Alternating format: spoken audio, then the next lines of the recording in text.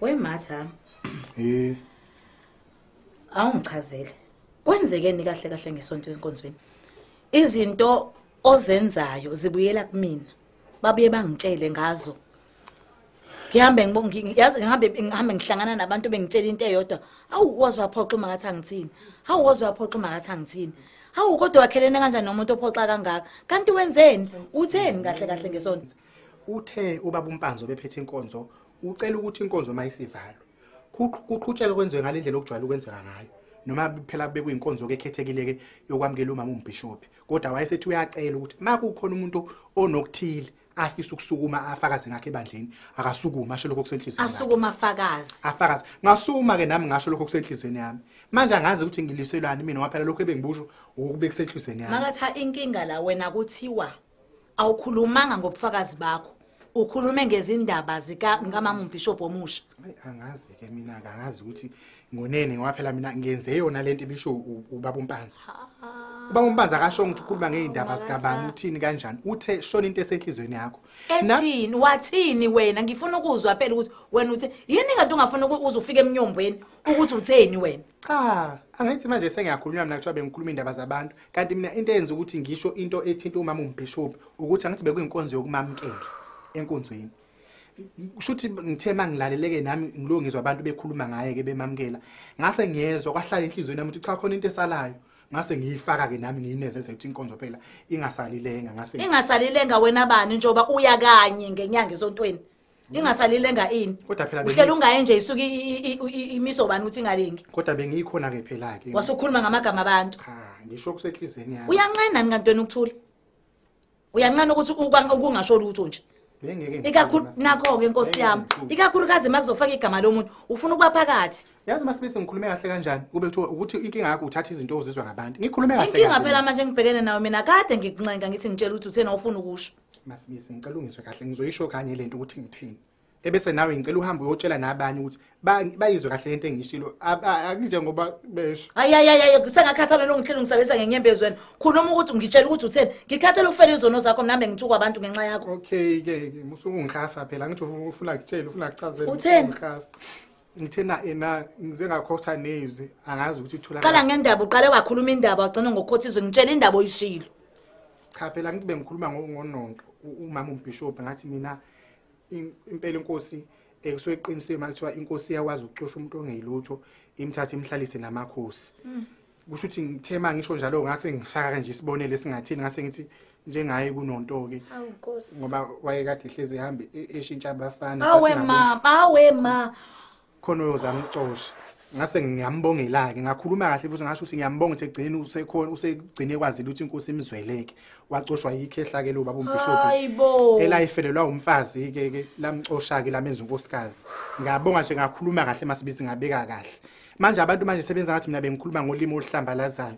Ngoba wena uma uyilalele kahle lento yakho i- i- uma uyilalele wena njengoba uyisho i- ingena kanjani la engqondweni yakho la endlebeni? La ma ingena la endlebeni ingena kanjani lento oyishoyo? Kodwa mina manje bengithi mina ngibonanga lutho olu- oluhambe kabi ngoba ngize ngathi glory to Jesus. Wemoya bavuma nabantu ngcwele ekugcineni. Hu, jova Angazi. jova. Kodwa nkosi yami ngizomenze njani uma kathi angithini? Awu nkosi ngizomenze nje. Makathi ha.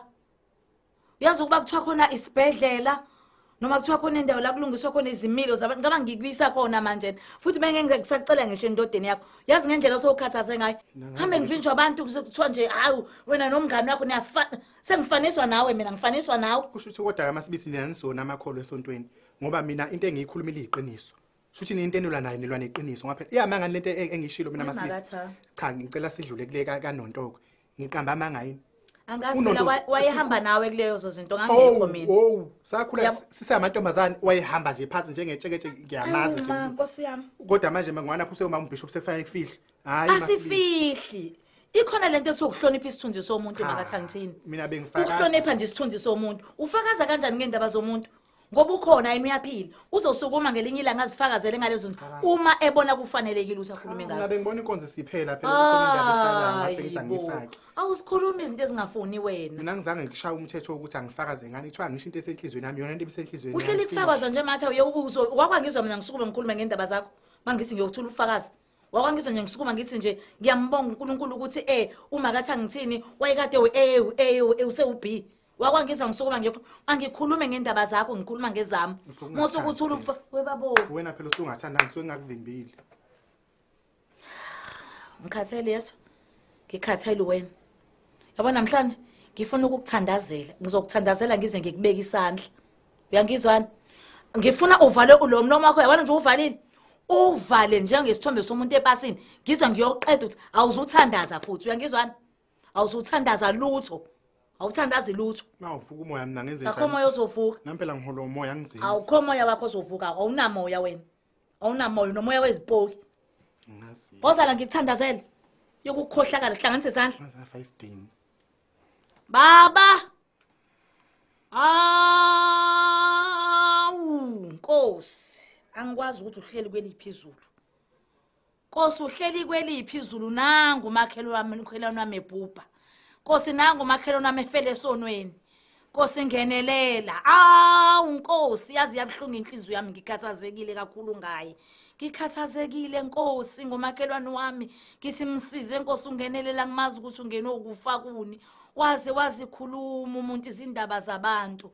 Nkosi ngenelela. Wena wakwazi Nkosi ungenelela esimweni sabantwana bakaIsrayeli.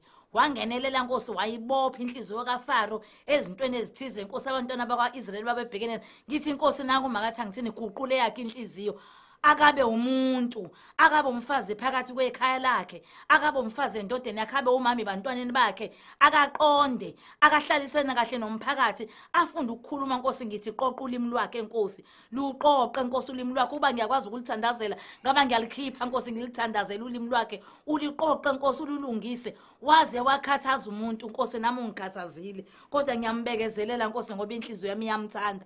Awu nkosi ngenze njani makunje ngithi inkosi ngenelela nkosi kulesi simo salomntwana kacele awu ngenelela nkosi nangoma kathi angithini? Usengehlule nkosi uhlula umphakathi uyahlupha nkosi. Wenza izinto ezipecukile ngathi umntwana omncane ukhuluma izindaba zabantu nkosi ngithi ngisize manje. Mengaba nkosi awusazweli yena sizwele indoda yakhe. Mengaba uyizweli yona zwela abantwana noma nkosi uzwele abazukulu noma uzwele mina-ke njengomasibise ngumakhelwane wakhe. Uthe nkosi ezweni lakho asithande omakhelwane bethu nje asizithanda ngiyamkhulekela-ke nkosi njengomakhelwane wami. Ngithi ngenelela nkosi kule simo sakhe. Angisazi ngizothini. Amen. Amen. Masibese ngiyazi ukuthi uthe angingakhule kodwa ngifisa ngilalela ngisasho namanje ngithi ungakhule nhlobo sezwana ngithi? Manje kodwa usho awukhuleki lutho. Ulwisana nomoya wena shothi. awunamoya wena. Uma uthi vala ngithi amehlo thula kho mehle ngizowavala thula. Basi- uthi umoya ngi-ede makathi phela- angithini? Udinga nje ukuhlala phansi uziseshe ntombazane ukhulume nawe wedwa. Ukhulume nalento ela ngaphakathi kwena. Sezwana ngithi ifuna ukuvuka hayi nje le- ingayivusi iyeke ilale kanjalo. Ayilale leyo nto nami phela fanele ngikhiphe okuthile masibise ukukhiphela bani? Uzokhipha masu nobabili nenkosi yakho kungasekho mina. Sezwana angifuni ukuzwa nje uvula umlomo umuntu uyakhuleka ngoba ngeke ngize ngiyilalele lo nonsenselo womkhuleko wakho. Kodwa phela ngithi ngokujwayelele ngiyaye nami ngikwazi ukuthi ukuthi ngi- yini ejwayelekile? Shuthi sengizoqamba amanga ngoba phela uma ngikhuluma iqiniso futhi nakhona futhi ngibhizi ngiyashushiswa ngikhuluma A- iqiniso akekho phela futhi bengazi umuntu ukuthi- okuphoqile ukuthi ukhulume bengazi makathi ngokholwa kuwukhuluma iqiniso. Akekho Angazi umuntu okuphoqayo sengizothini. kwakulelo qiniso ukuthi ukhulume nje. Awuphoqekanga ukuthi ukhulume. Okowuvale nje umlomo okufuna Nge- senze ukuwuvala njani kanti? wawuvale lo mlomo Mina vala sengiyakhihle. lo mlomo. silikhuluma iqiniso noma siye? Hayi bo. Awulikhuluma iqiniso ley'ndaba zabantu. Ikakhulukazi uma ungacelwanga muntu. Angazi mina ngizolikhesa kanjani kanti iqiniso uyanqena ukuvala umlomo wakho? Uyanqena sengiyahamba siyabonga kulaba abasubscribe-ile ke laba abangasubscribe inkinga yini kuphi sefanele hlezi sikhuluma into eyodwa ukuthi subscribe-ani-ke ngoba nakho ningaboni fanele subscribe nina aniboni. Anisiboni, ubakavelani hayi. pho? Ngiyacike kamina waye ubakafa nibuke nilike nikhomente laphana hayi hayi hayi. Bakwethu kube njalo-ke ngane zakwethu siyabonga-ke bye. Ngabhayini.